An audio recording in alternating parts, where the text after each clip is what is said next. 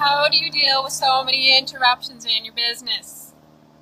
Whether it's the phone ringing or noises when you're trying to do a 100 day video challenge, big airplanes flying over your head. How do you deal with interruptions? Do you remove yourself? Do you just say, forget it, pause, there's a big airplane flying over my head, which is what we do here, where we've learned to uh, pause our conversations. Think another one's coming.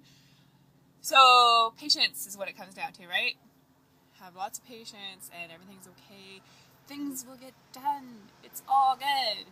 So, interruptions are just part of life. You just gotta learn to deal with them. They will never go away, and you just have to embrace them. Like, cool, there's an airplane flying over my head. I'm just gonna pause and check out how cool it is because we got some really, really neat, neat ones sometimes, like old warplanes, which are really fun to see. Anyway, enough about airplanes. Interruptions in your life and your business, go with the flow. Just move around them and keep plowing forward, and you can do it. Just don't give up. Don't be like, ah, this isn't working. I can't do anything because I keep getting interrupted. I've, been, I've done that before. You can do it. You can do it.